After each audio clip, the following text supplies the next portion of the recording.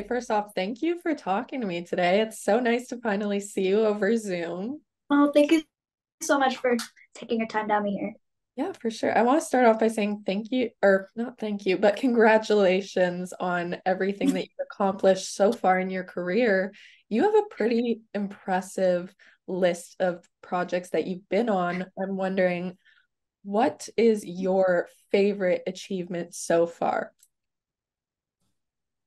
Every everything I do is always very different and you know, it's different genres, but they all tend to be very dramatic. Um, but I mean they're all special to me in all different ways. Definitely. They're all like my my, my children. And what was it that made you want to get into acting? Is there a specific moment that you remember?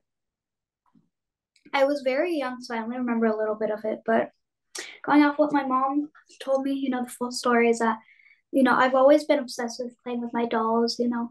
So when I was about like th- three, four years old, uh, she saw me playing with my dolls, pretending like I was, um, you know, an actress. I was like, no, my best friend is sick today. Um, you know, just doing this random scene that came out of the top of my head, and my mom was like, "Oh, she's good." So she found this random monologue off the internet, and she was like, "All right, uh, let's just tape this and send it to an agency and see if anything can happen." Well, obviously something happened. Oh yeah, and I'm so grateful for it. Yeah, 100%. And I know you have a feature film, A Sudden Case of Christmas, that you recently worked on, but I know you've also worked on kids' TV shows and Fear of the Walking Dead. How do you decide what projects you want to work on? Do you look at the characters or do you look at who you're working with? Uh, well, I always like to read through the script um, at least like three times just to you know know what i'm getting myself into. Hmm. and um i always try to um research on the material and see if there's any existing shows or movies or books. And i try to um you know study as much as i can until i really feel connected to the role and i feel ready to tape it and send it off.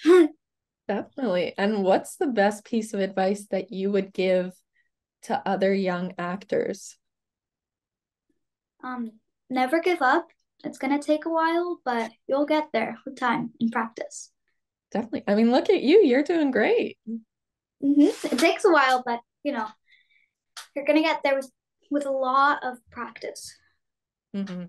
And speaking of practice and working, you've worked with a few very big people in the industry. I'm wondering, do you have a dream person that you want to work with in your future?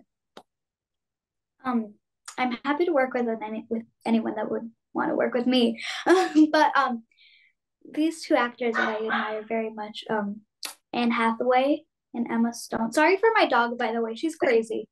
You're okay. Are there any specific movies that you love of Anne Hathaway's? And yeah. I like Anne Hathaway's The Devil Wears Prada. Okay. I was not expecting you to Princess say Princess Diaries. Yeah. Mm-hmm. Um, I don't. I'm not. Uh, I don't remember the title, but there was this other one. I forgot the title. it's okay. Those are both good movies. Oh yeah. Yes. And Emma Stone's Cruella. I thought she did amazing there. She I watched that like 15 times. Was that a Halloween costume that you wore or no? Yes. Really? Okay. I think it was like two years ago.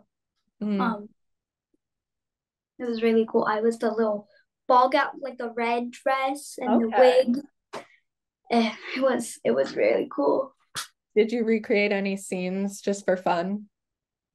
Um, you know, in the mirror and in the shower, but didn't really film any uh, gorilla scenes. Fair enough. But and talking about projects, what do you have planned for the future? Do you have any projects that you can hint at or talk about? Well, my agent and my manager are currently talking about something that I can't 100% say about yet, and it's not 100% sure yet. Um, but it's pretty cool, you know. We're just waiting to find out. Mm-hmm. Yeah. Well, I can't wait to see what it is. If you could describe your future and what you want to see for it in three words, what would they be?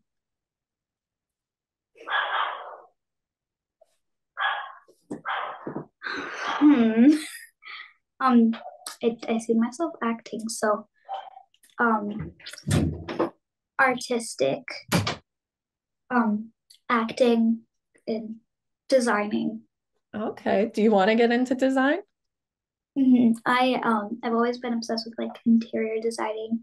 Um, my parents uh, have you know multiple businesses and stuff, so I wish to pursue my acting and also have little interior design side job. It's what makes me happy. That's all that matters. You're going to be keeping busy though. Oh yeah, but that's what I love. I mean, somehow I'm always telling myself like, oh, it would be nice for a break right now. But I mean, even when acting, I'm like, ah, oh, it's been two weeks since I filmed anything. Oh my gosh, I want to get back. I get that. I'm the same way too. So you got to keep busy. Yeah, or else I'm like, ah, I want to do something else. You know? Sure. Well, I'm so excited to see what the future holds for you. And hopefully we can talk again. But thank you so mm-hmm. much for your time. Thank you so much, too. Oh, there's my little doggy. She wants to say bye. Oh.